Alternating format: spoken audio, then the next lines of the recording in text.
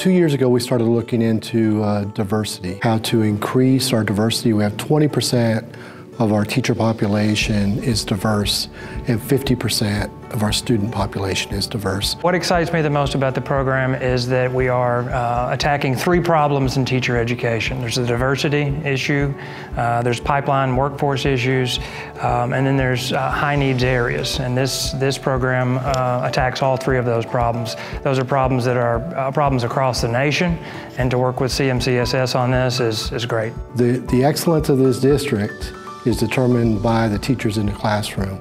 And students benefit from being taught and have examples of teachers that look like them, and they deserve a qualified teacher in a classroom. Today is a big day for us because we get to actually sign the contract between the partnership between Austin Peay and CMCSS.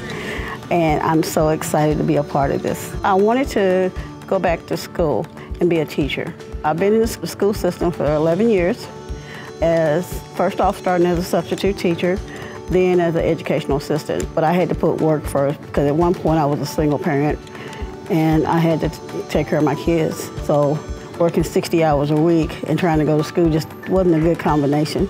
And so I feel that with this program, it has opened up so many doors for me. Also gives me an opportunity to continue to help people which I enjoy to do. We hired 19 master teachers, level five teachers in our district to come into five low socioeconomic schools.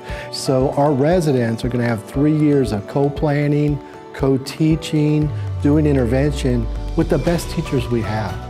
So when they come out, they're going to be as prepared as anybody could ever be. The three-year cohort model was something that the district requested because we want to get these people in the classroom as quickly as possible. Uh, but it's not less coursework, it's just accelerated. Uh, and the students will be going through the summer.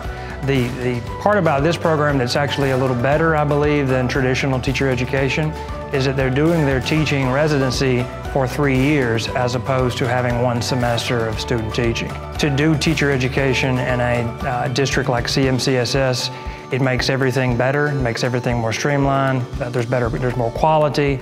Um, doing teacher education in other states is, is frankly, so it's harder, it's a lot harder. When we began this venture with Austin Peay, it's been an eight month negotiation with Austin Peay to secure this partnership. And I couldn't be more proud of Austin Peay uh, coming to the table, working as co-partners to focus on the early learning teacher residency.